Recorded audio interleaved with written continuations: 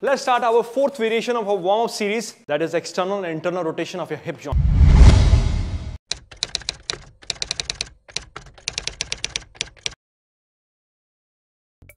This is external rotation of your hip. First 30 second. Hands are here, hands are here, wherever you want, comfortable. But go slow. Feel the stretch. Feel the contraction around your hips. We are warming your hips here.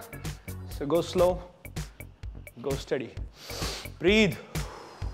Most important. Breathing. Speed slow.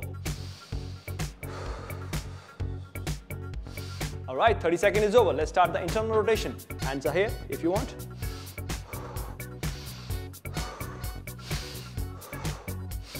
I feel good here.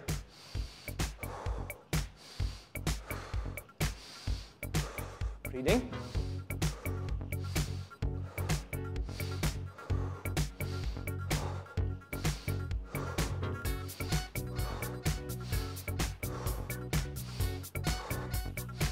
And time.